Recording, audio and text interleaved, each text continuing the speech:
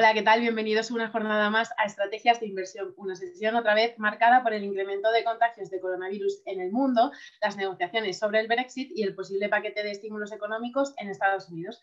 Para hablar de todo ello, hoy contamos con Mónica Triana y Carlos Gil, analistas de trading de estrategias de inversión. Hola, Mónica. Hola, Carlos. Hola, buenos días, Laura. Buenos, días. Los principales índices de parecen que hacen un alto en el camino después del triple récord que registraron el Dow Jones, el SP500 y el Nasdaq el pasado viernes. ¿Vuelven las dudas al otro lado del Atlántico por el incremento de casos de coronavirus? ¿Ya se ha descontado la aprobación de más ayudas económicas? ¿Creen que la incertidumbre por las nuevas tensiones entre Estados Unidos y China está afectando a las bolsas? ¿Qué niveles no deben perder los principales índices estadounidenses?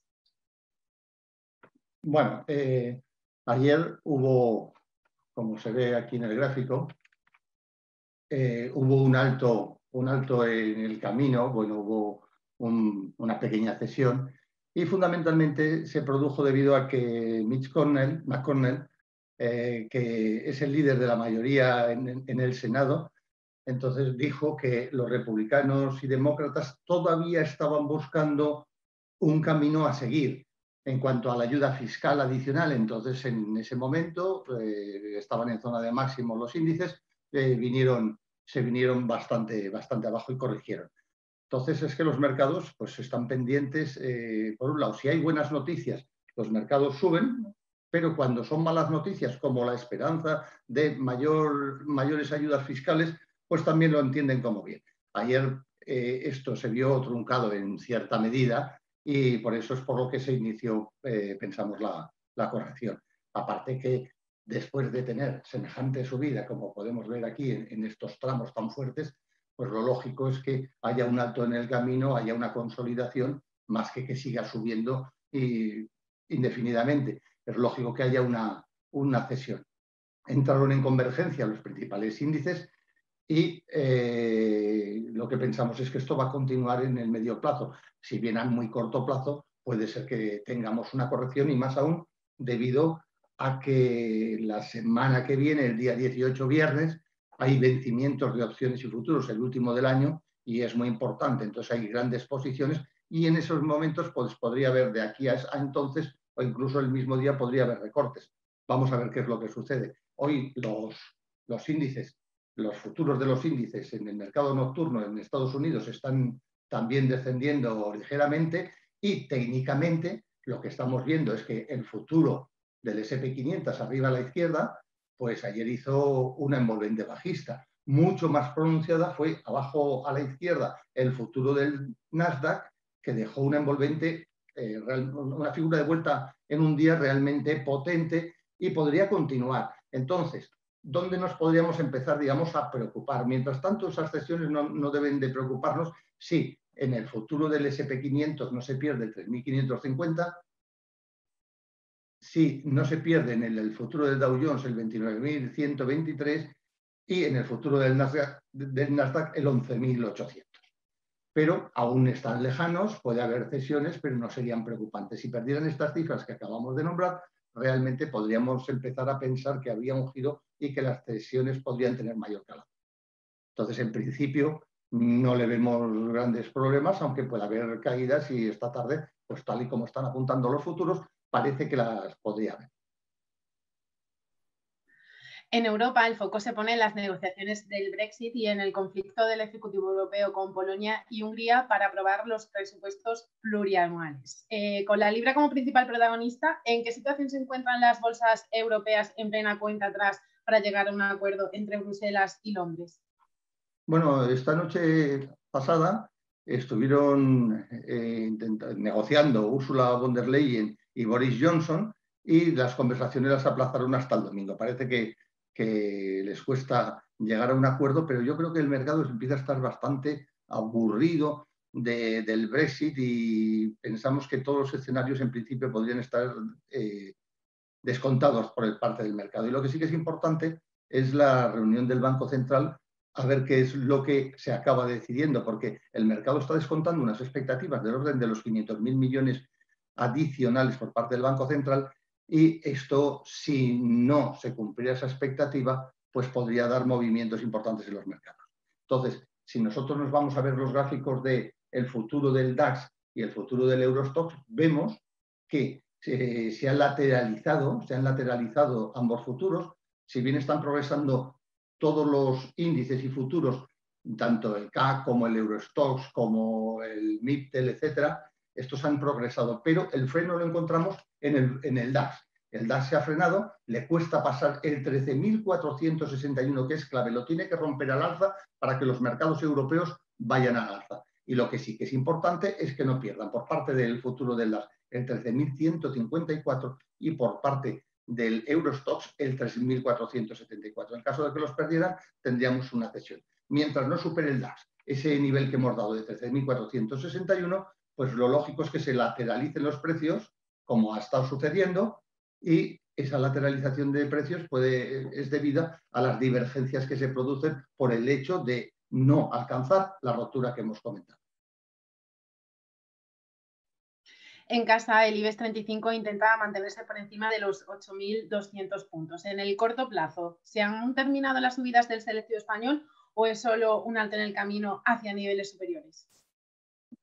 Yo pienso que es un alto en el camino porque al fin y al cabo lo que ha hecho es desde la zona de mínimos, desde esta zona de aquí abajo, desde el, el 6.400 aproximadamente, ha hecho toda la subida en un solo tramo. Ha hecho una subida muy, muy importante y, en principio, si tuviera alguna cesión, tampoco nos preocuparía siempre y cuando no pierda el 38% de Fibonacci situado en 7.852 o el 50%, o el 50 que se sitúa en 7.561. Hasta esos momentos lo que podemos considerar sería una cesión que además, incluso, eh, muchos lo dicen así, eh, se considera sano para continuar la evolución del mercado. Entonces, en principio tampoco es preocupante y en función de lo que suceda, con, las ayudas del Banco Central, pues yo creo que esto podría continuar al alza o, en su defecto, eh, recortar algo, pero mientras no pierda ese 7.500 no, no preocupa. Es ocasión para entrar si se piensa entrar en el mercado, pues, digamos, a medio plazo. hablando de divisas, no solo la libra es protagonista, también lo sigue siendo el euro, que retrocede desde máximos de 2018, aunque logra conservar el 1,20. ¿Se puede producir movimientos en la moneda comunitaria dependiendo de lo que transmita en su discurso la presidenta del BCE, Christine Lagarde? Pues realmente sí, porque mm, al euro, como es lógico, le afecta muchísimo eh, cualquier eh, reunión importante como lo es la de hoy en la rueda de prensa sabremos algo más y se, prácticamente seguro que habrá algún tipo de reacción. Puede ser hacia arriba, puede ser hacia abajo. La verdad es que eso es un poco imprevisible. Pero realmente lo más importante es que desde comienzos de año, más o menos desde este punto, el euro ha subido frente al dólar un 8,62%, lo cual es mucho y ha perdido, bueno, no ha, conseguido superar esta resistencia en 1.21.54, la ha perdido y ahora simplemente está retrocediendo algo. Realmente lo importante es, a partir de hoy, qué es lo que pase, no solo en el momento de, la, de que se vayan conociendo los datos, los comentarios y las decisiones del BCE en la rueda de prensa, sino posteriormente. Podría llegar hacia volver de nuevo a la senda alcista, que no la ha perdido. Esto simplemente es una ligera corrección que no llega ni al ni al 23,6% de un retroceso de Fibonacci y volver a meterse en el camino de los 1,22. Todavía le queda desde luego mucho recorrido hasta el 1,2555 que alcanzó en 2008 y bueno, pues mientras que no pierda el 1,20 tampoco la corrección sería importante. fundamental esperar a ver lo que se ha comentado hoy. Tras las últimas subidas del indicador de la bolsa española, ¿consideráis interesante algún valor del mercado nacional para entrar? Pues la verdad es que hay algunos valores que son, eh, están en un momento interesante. Por ejemplo, Amadeus, tras todo este tramo de caída y llegar a estos mínimos en abril, ha retomado su tendencia alcista con giro y se ha situado recuperando el 61,8% del retroceso de toda la caída. Y además se ha situado, que esto es también importante, por encima de la media de 200, no solo la sobrepasó con esta vela, esto es un gráfico semanal, sino que posteriormente continuó su camino alcista y está claramente situado por encima de la media de 200. Es un valor interesante, es un valor fuerte que ya ha recuperado alguna gran parte de lo perdido y el hecho de que esté ahora mismo retrocediendo hacia la media de 200 puede ser, en la cercanía de la media de 200 podemos encontrar quizá algún punto de apoyo interesante. Iberdrola también es un valor que merece la pena seguir. Eh, por supuesto, como todos los valores, eh, o como casi todos los valores, sufrió en el crash, pero después no solo sobrepasó su máximo histórico, sino que se, está situado claramente por encima de este máximo histórico. Y además conserva su tendencia alcista eh, desde el año por lo menos 2013, desde allá ya muchos años marcando su tendencia, por supuesto, con sus subidas y sus bajadas. Lo que pasa es que tenemos que elegir un poquito un buen momento para entrar.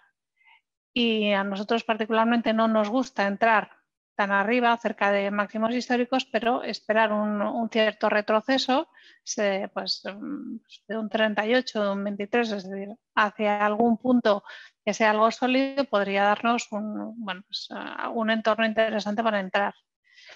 Si eh, se iniciara un proceso correctivo y se perdiera el 10, ya tendríamos que, bueno, pues que ir con un poco más de cuidado y esperar, esperar pues, un nuevo giro alcista.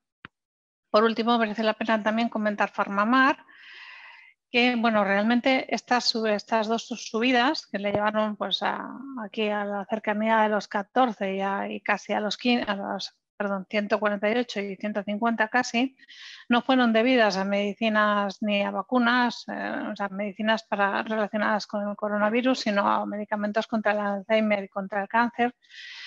Y realmente en las compañías farmacéuticas lo que tienen de bueno es que hay subidas súper exageradas, pero lo que tienen de malo es que son muy volátiles y también hay fuertes tramos bajistas. Pero tienen, tenía un nivel que se lo ha merendado en, la semana pasada, que era el entorno de 80, pero ahora tiene uno bastante sólido en 65, que sería raro que perdiera. Pero ante una subida, perdón, ante una bajada tan brusca y con momentos de volatilidad elevados y además siendo un sector pues, ya de por sí muy volátil, aunque lleguemos a un nivel que podamos considerar muy sólido, ya no lo podemos considerar como antes, como un proceso correctivo que origina un buen punto de entrada, sino que aquí si esto girara de nuevo al alza, tendríamos que observar primero ese giro para poder encontrar un buen punto de entrada.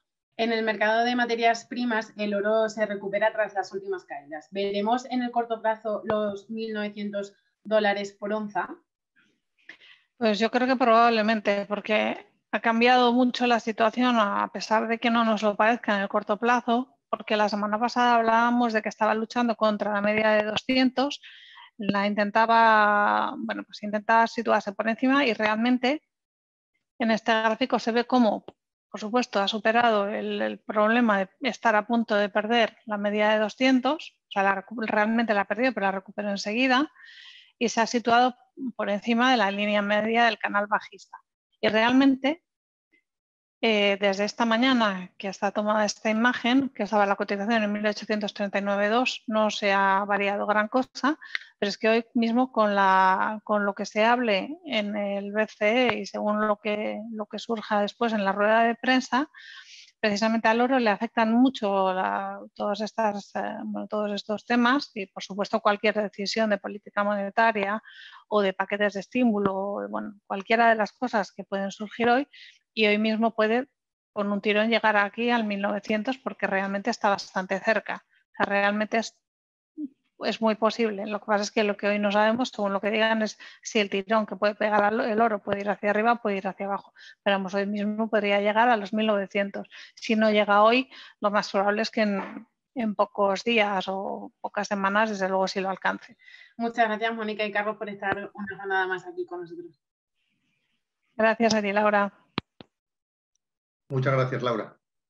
Y ustedes ya lo saben, pueden seguir toda la actualidad de los mercados con los mejores análisis en estrategiasdeinversión.com.